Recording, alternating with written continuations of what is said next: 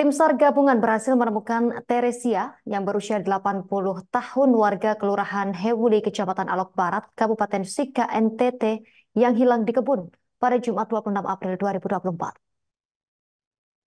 Korban diketahui hilang selama 9 hari di kebun sejak 18 April 2024 lalu. Kepala Basarnas Maumere Supriyanto Ridwan mengatakan setelah pencarian hari ketujuh, setelah menerima informasi 20 April 2024, tim SAR gabungan akhirnya menemukan titik terang. Korban ditemukan dalam keadaan meninggal dunia sekitar 1,81 km dari lokasi kejadian. Ia berujar tim SAR gabungan kemudian mengevakuasi korban menuju RSUD TC Healers Maumere.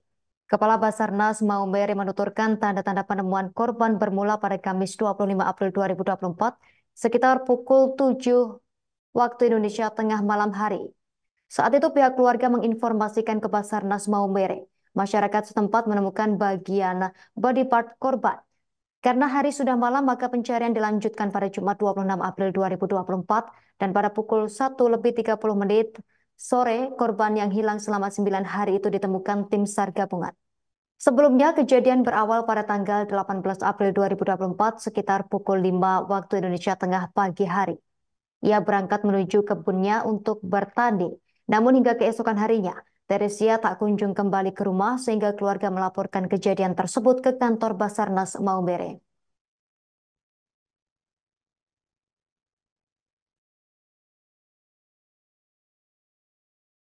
Download Tribun X sekarang.